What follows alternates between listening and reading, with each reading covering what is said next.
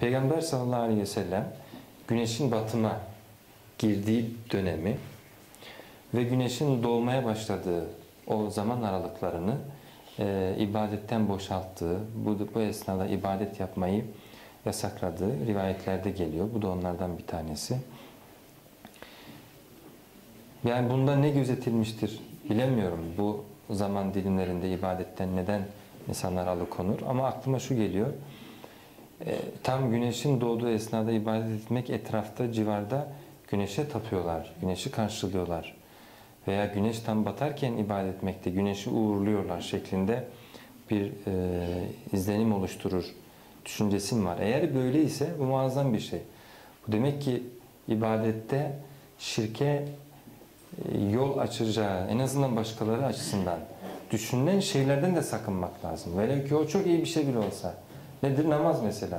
Harikulade bir ibadet. Allah'a yapılan. Ama güneş doğarken yapma. Niye? E başkası görür zanneder ki güneşe tapıyor.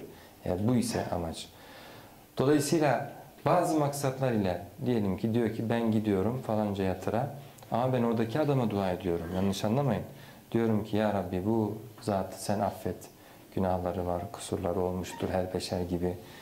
Ee, hafiflet günahlarını falan. Böyle dua ettim geldim. Diyor ha diyor bir şey yok maşallah ne güzel. Ama bu yaptığın şey yani o esnada kabre doğru durmuş, ellerini açmış. Bu manzaradan başkaları ya buralardan arada bir şeyler isteniyor. Bunlar da yerine getiriyor diye anlayacak ve bir ihtimal var ise o zaman bunu da düşün, bunu da hesaba kat. Senden sonra da 7 yaşında bir çocuk bir gün geçer oradan, iki gün geçer. O yol üstünde geçtiği yerdeki o e, yatıra bu muameleyi göre göre çocuk bir gün bir şeye ihtiyaç duyduğunda durur. İşte bana şuyu ver dedi mi e, bir anda Mekke'nin o karanlık cahiliyesini oraya tesis etmiş olursun.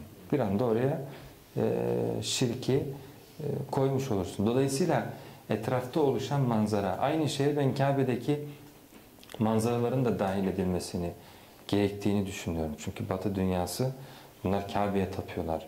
Kabe'yi işte burayı tazim ediyorlar, ilah belliyorlar diye putperestlik e, olduğu e, iddiasında bulunuyorlar ve bu manzaraları delil getiriyorlar. Sarılmalar, yapışmalar, yakarmalar böyle. Halbuki bunlar ne esaslı bir ibadettir farz gibi. Olsa olsa belki sünnet sayılabilir birkaç buse falan. Onlar da öyle olmazsa olmaz şeyler değildir. Ama oluşan manzara yani bir başkası açısından verdiğimiz imaj her şeyden önemlidir. Biz kimliğimiz her şeyden önemli. Biz İbrahim dini üzere olan sadece bir tek Allah'a ibadet eden ondan ayrı herhangi bir e, ilah veya olağanüstü bir şey, güç kabul etmeyen melekleri bile Allah'ın kahrı altında perçemlerinden çekip yakaladığı, sürüklediği varlıklar olarak bilen, inanan kimseleriz. Niye bu en temel İbrahimi akidemize gölge düşürecek bir imajı etrafta oluşturalım? Ne anlarsa anlasın diyemeyiz. Eğer bu olay da öyleyse Hz. Peygamber e, var, varın güneş doğarken de batarken de kılmayın. Kılmayı verin çok önemli değil. Yeter ki insanlar bunlar güneşe tapıyor. izlenimi almasın diye düşünmüş olabilir.